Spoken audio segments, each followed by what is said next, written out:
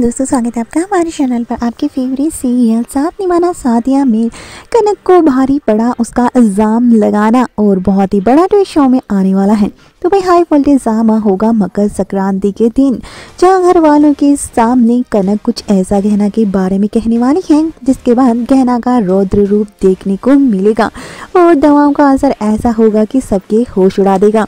दरअसल कनक सबके सामने ये खुलासा करते नज़र आती हैं कि गहना ने, ये प्रेगनेंसी वाला है भी, ये सब कुछ जो नौटंकी करी है कि वो माँ नहीं बन सकती, ये सब फेक रिपोर्ट उसने खुद ने बनवाई है पैसे देकर। के बाद में यहाँ पर घर वालों के होश उड़ जाते हैं और गहना तो गुस्से में इतना लाल हो जाती है और कहती है कि मेरे ऊपर इल्ज़ाम लगाने की कैसे आपकी हिम्मत हुई? और वहाँ पर रखी हुई बोतल को फोड़ कर वो उसी को मारने की कोशिश करती है, लेकिन अनंत और घर वाले बीच बचाव करते नज़र आते हैं।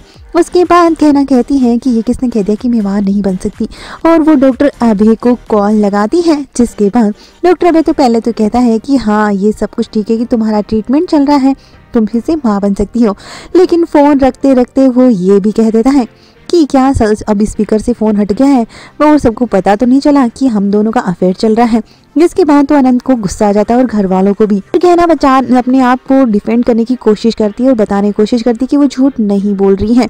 लेकिन भाई, गहना का जिस तरह से नया अवतार नज़र आ रहा है घर वाले उसकी बातों पर यकीन नहीं करते और कहीं ना कहीं डॉक्टर अभय की चाल और कनक की चाल कामयाब हो जाती है और अनंत भी बुरी तरह से उस पर गुस्सा हो जाता है। वही अब गहना को निकाल देगा अनंत घर से बाहर और होगा।